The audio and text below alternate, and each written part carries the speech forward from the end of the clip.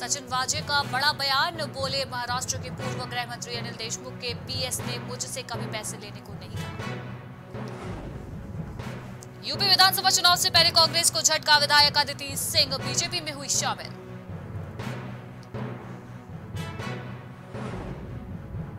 ममता बनर्जी से मिले सुब्रमण्यम स्वामी, मुलाकात की तस्वीर तृणमूल कांग्रेस ने जारी की।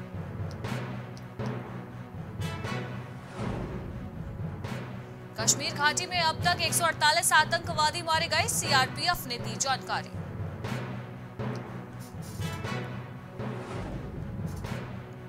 केरल के सीएम का ऐलान, एक लाख उनसठ हज़ार मछुआरों के परिवारों को तीन हज़ार रुपए की सहायता दी जाएगी।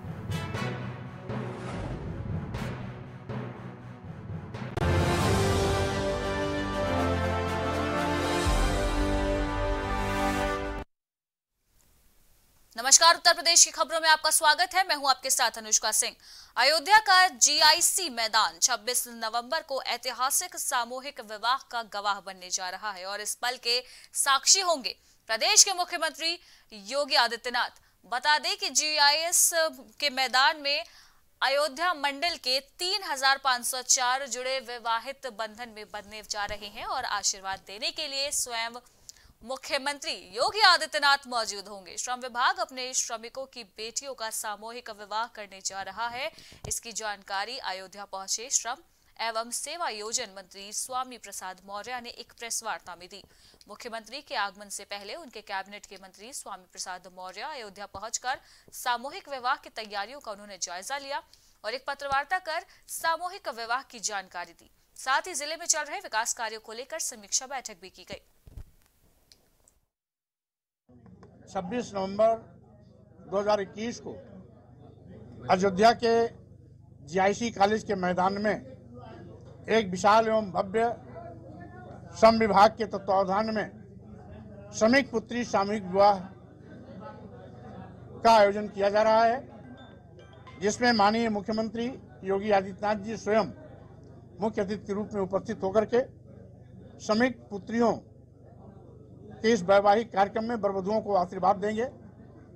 और साथ ही साथ जो हमारे देश के यशस्वी प्रधानमंत्री माननीय नरेंद्र मोदी जी और उत्तर प्रदेश के कर्मठ मुख्यमंत्री माननीय योगी आदित्यनाथ जी का संकल्प है, सबका साथ, सबका विकास, सबका विश्वास और सबका प्रयास। तो उसके तहत श्रमिक भी विभिन्न कल्याणकारी योजनाओं से आच्छादित होकर विकास के मुख्य धारा में खड़ा होने का अवसर पाएगा और श्रमिक की पुत्रियों की भी शादी इस सामूहिक विवाह में बड़े शानदार, भव्य तरीके से किया जाएगा। एक शादी पर हम पैंसठ हज़ार रुपए की आर्थिक सहायता उस श्रमिक के खाते में भेजते हैं, जिसकी पुत्री का वहाँ पर वैवाहिक कार्यक्रम में सम्मिलित होकर के शादी वहीं आजमगढ़ में पूर्व मुख्यमंत्री अखिलेश यादव का 26 नवंबर को आगमन है। जानकारी मिली कि आजमगढ़ के समाजवादी पार्टी के जिलाध्यक्ष हवलदार यादव के भतीजे की शादी में आशीर्वाद देने के लिए आजमगढ़ पहुँच रहे हैं अखिलेश यादव। जिलाध्यक्ष हवलदार यादव ने तोनारी गाँव में हवलदार के घर के कुछ कदम आगे हेलीपैड बनवाया गया है। जिसमें अभी तक 80 प्रतिशत काम भी हो चुका है। समाजवादी पार्टी के जिला अध्यक्ष हवलदार का कहना है कि माननीय राष्ट्रीय अध्यक्ष अखिलेश यादव 26 नवंबर को होसेपुर गाँव राम जियावन थाना महाराजगंज हमारे भतीजी की शादी में आशीर्वाद देने के लिए आएँगे।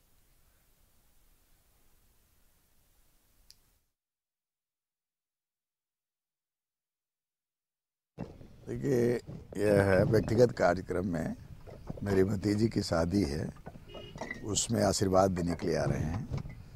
और 26 तारीख को सवा दस बजे वहाँ से आएँगे और फिर इसके बाद ग्यारह पच्चीस के स्पे पे निकलना है उनको। वो प्रोग्राम, संशोधित प्रोग्राम आ गया, पहले पहले से एक घंटा बिफोर वहीं संभल में बीजेपी नेता कपिल सिंघल के विवादित बयान उन्होंने दिया है, जहाँ पर कपिल सिंघल ने एआईएमआईएम प्रमुख ओवैसी के बयान पर पलटवार करते हुए विवादित बयान दे दिया। इसी के बाद बीजेपी नेता कपिल सिंघल ने ओवैसी को चेतावनी दी है। इसके साथ नेता ने सीएम योगी की तारीफ़ करते हुए कहा कि यूपी में हिंदू मुस्लिम की राजनीति करने वालों को योगी सरकार इस वक्त सबक सिखा रही है। इसी के साथ उन्होंने यह भी दावा किया कि आने वाले समय में बीजेपी की जीत होगी। मैं बता दूँ, ये ओवैसी साहब अपनी जवान पर लगाम दें। हमारे प्रदेश की सरकार और देश की सरकार शांत प्रिय से चल रही है। इनके ऐसे बयानबाजी से ना तो इनको प्रदेश में घुसने दिया जाएगा और ज़्यादा अगर बयानबाजी, सांप्रदायिकता की बात करेंगे तो इनकी जवान वहीं फरुखाबाद में दबंगों के हौसले बुलंद होते दिखाई दे रहे हैं, जहाँ दबंगों ने युवक की हत्या करने के बाद घटना को छुपाने के लिए उसके शव को पुलिया के पास फेंक दिया। मृतक के परिजन इस घटना में न्याय की गुहार लगाते हुए दबंगों पर कार्रवाई की मांग कर रहे हैं। इसी के साथ ये भी जानकारी दी गई कि मृतक को न्याय दिलाने के लिए थाने के चक्कर उसके परिजन लगा रहे हैं, लेकिन अब तक उन्हें न्याय नहीं मिल पा रहा है। जब बात साहब के दे रहे दिलेंगे लड़के हमारे बुलाए कि फ़ोन करके पता नहीं इन्हें कहा करो जाकर इधर टेंपो पलट गया। कौन बुला के ले गया था? अनिल। अनिल कौन है? अनिल भैया लाल को लड़का नहीं तो क्या उसका मर्डर वगैरह हुआ? क्या बात हुई है? हाँ। बात बताओ पूरी क्या बात हाँ, हुई? पूरी पता नहीं कहीं आई है मतलब चोट है हम तो कहीं चोट नहीं कहाँ खाली मरती है। यानी आपके कहने का मतलब उसके साथ में अनहोनी हुई है मर्डर हुआ है उसका। हाँ हाँ। तो पुलिस वगैरह आपने तहरीर वगैरह दी है? हाँ तो जैसे बकात नहीं नहीं कि किसी हो गया। कोई लगने नहीं जब पुलिस कोई किसी प्रकार कोई जानकारी नहीं करती कोई घटना लखीमपुर खीरी में किसान सहकारी चीनी मिल और बेलराया में आज शुभारंभ किया गया है। शुभारंभ के मौके पर एडीएम संजय सिंह और प्रधान प्रबंधक विनीता सिंह ने जानकारियाँ दी। पूजा पाठ के साथ मिल का शुभारंभ किया गया। वहीं किसानों ने बकाया गन्ना भुगतान के संबंधित जानकारी भी हासिल की। तो एडीएम ने बताया कि जल्द ही किसानों का बकाया गन्ने का भुगतान भी किया जाएगा। नकम्मी बात है जो कि वो फैक्ट्री की तैयारी कर रहे हैं कि जो है हमें जो है फैक्ट्री चलाने दिया जाए और तब आपका भुगतान कर देंगे जो है दिसंबर में कर देंगे। तो वैसे उन्होंने ये तो कहा था कि यही यही महीने में, नवंबर महीने में तीस तारीख को जो है किसानों का पूरा भुगतान जो है, ब्याज समेत जो है किसानों के खाते में डाल दिया जाएगा। प्राथमिकता के आधार पर पुराना बकाया भी दिया जाएगा। इसका प्रयत्न चल रहा है और बहुत शीघ्र ही शासन से पैसा प्राप्त हो रहा है और दे दिया जाएगा सबका।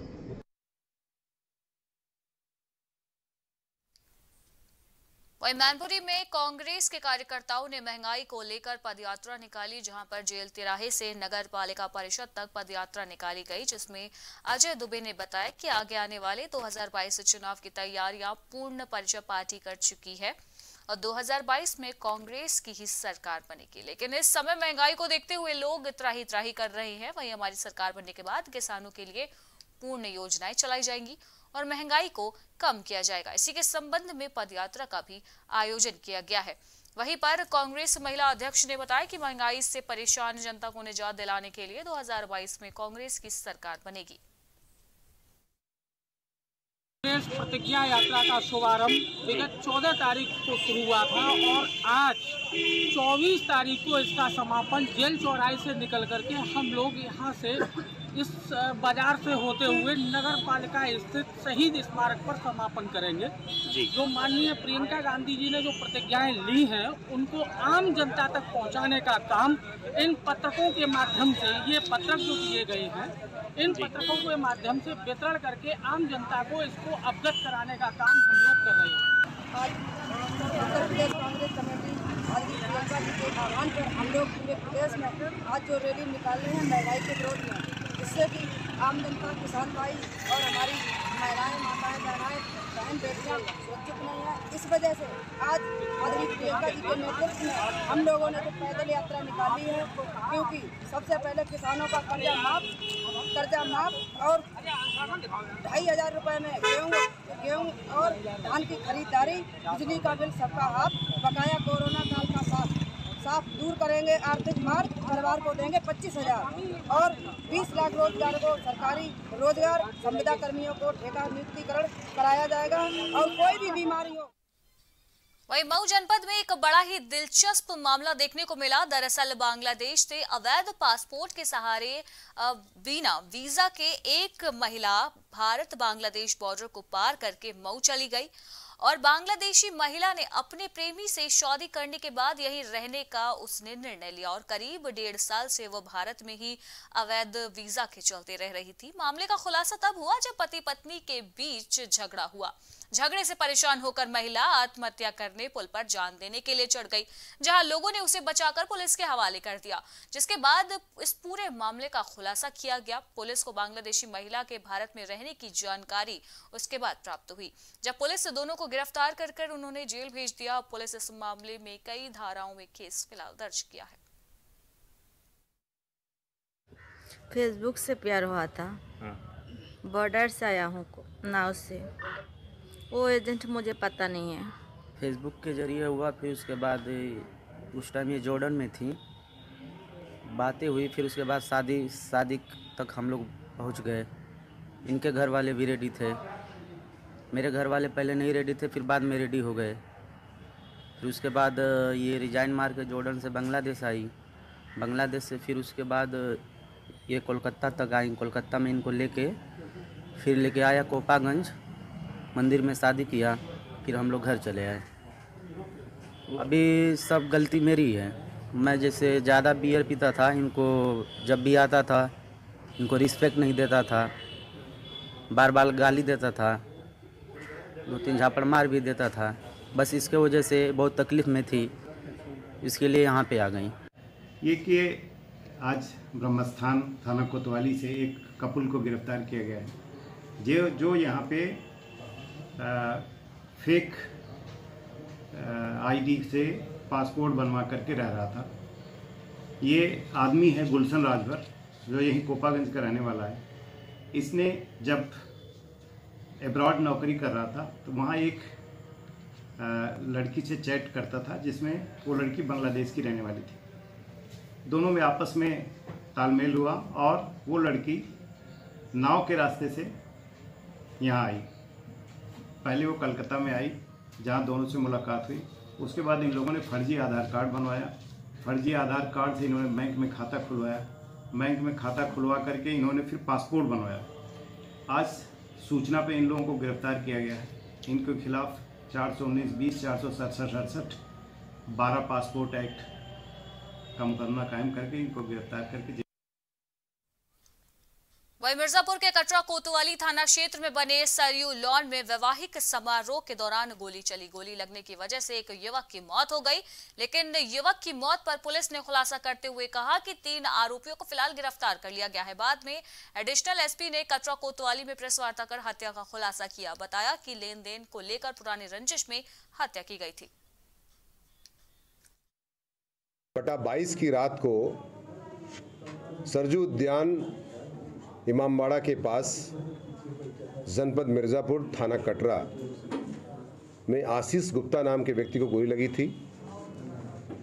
ज़िला अस्पताल में पहले प्राथमिक इलाज हुआ, उसके बाद ट्रामा सेंटर रेफ़र किया गया था वाराणसी के लिए, जहाँ पर इलाज के पहले कह सकते हैं, इलाज के पहले बल्कि ब्रॉड डेड उसमें डॉक्टर साहब ने लिखा है, उसकी मृत्यु हो गई थी। बाद में आकाश गुप्ता जो मृतक का भाई है। उसने तहरीर दिया कि एक रंजिश थी जिसके तहत फारूक ने उस पर गोली चलाई थी और उसके गोली पेट में लगी थी, जिससे व्यक्ति की मृत्यु हो गई थी। इस संबंध में लिखित तहरीर के आधार पर एक सौ अट्ठानवे बटे इक्कीस तीन सौ दो आई का मुकदमा दर्ज हुआ था, जिसके तहत तफ्तीश के दौरान कुछ तथ्य प्रकाश में आए। जिस तथ्य के प्रकाश में तीन अभियुक्तों को फ़िलहाल गिरफ़्तार किया गया है, सत्यम अमन शाह और फारूक, जिसमें मुख्य अभियुक्त फारूक है। जिसके असलाह से बत्तीस बोर का असलाह जो है, उसके उसी के से फायर किया गया था और उससे, उस व्यक्ति की मृत्यु हो गई थी। तदानुसार तीन अभियुक्तगण को जो इसमें साजिशन शामिल थे और फारूक को भी गिरफ़्तार करके वहीं मेरठ में आयोजित खेलकूद प्रतियोगिता में स्वर्ण पदक जीतने पर संभल के पुलिसकर्मी को सम्मानित किया गया। स्वर्ण पदक जीतने वाले संभल पुलिस के चंदौसी में तैनात हेड कांस्टेबल मोहम्मद मारूफ को पुलिस अधीक्षक संभल चक्रेश मिश्रा ने सम्मानित किया। इस विषय में स्वर्ण पदक विजेता मोहम्मद मारूफ ने बताया कि मेरठ में आयोजित उत्तर प्रदेश पुलिस की खेलकूद प्रतियोगिता की कुश्ती में स्वर्ण पदक जीतने पर काफ़ी खुशी हुई है। इसमें ये उत्तर प्रदेश पुलिस के खेल हुए थे मेरठ में सिक्स बटालियन में। जो यूपी जो कुश्ती का क्लस्टर हुआ है ये सिक्स बटालियन पीएससी मेरठ में हुए हैं। जो जो उन्नीस तारीख ग्यारहवें महीने से और बाईस तारीख ग्यारह महीने तक चले दो हज़ार इक्कीस।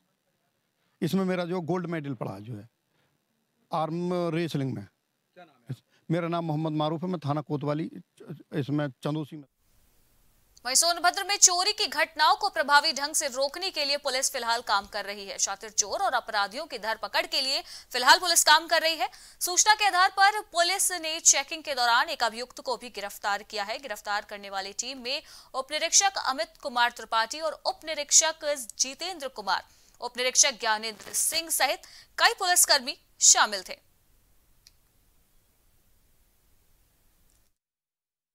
बमनौली रावट्सगंज का रहने वाला है। ये काफ़ी समय से यहाँ पर घटनाएँ हो रही थी, कस्बा रावट्सगंज में, जिसमें ये बाइक चोरी का काम करता था। और कल इसको हमारी स्वाट यसू जी और चौकी इंचार्ज कांसीराम आवास तथा सुकृत की टीम ने इसको पकड़ा है। इसके कब्जे से चार मोटरसाइकिलें बरामद हुई हैं। जिसमें से दो हमारे कस्बा रावट्सगंज की हैं और दो बनारस से इसने चोरी किया था। वहाँ वहाँ पर भी दो मुकदमे में इसके, उसमें पंजीकृत हैं, एक रामनगर से और एक सिगरा में। तो ये चार मोटरसाइकिलों की बरामदगी हुई है और इसकी सिद्धार्थनगर के डुमरियागंज के डाक बंगले में अमरगढ़ शहीद स्थल तक शहीद सम्मान यात्रा निकाली गई। डुमरियागंज विधायक राघवेंद्र सिंह की अगुवाई में निकाली गई इस यात्रा में सैकड़ों लोग शामिल हुए। बता दें कि एक साल पहले शहीद हुए गुमनाम क्रांतिकारियों को सम्मान देने के लिए आगामी 26 नवंबर को अमरगढ़ शहीद स्थल पर तीन दिवसीय कार्यक्रम आयोजित होगा। डुमरियागंज विधायक ने मीडिया से जानकारी साझा करते हुए बताया कि जिन गुमनाम क्रांतिकारियों की वजह से पूरे देश को आज़ादी मिली थी। अभी तक उन क्रांतिकारियों को सम्मान नहीं मिल पाया है। उन्हीं पूर्वजों को सम्मान देने के लिए यहाँ पर तीन दिवसीय कार्यक्रम का आयोजन होगा।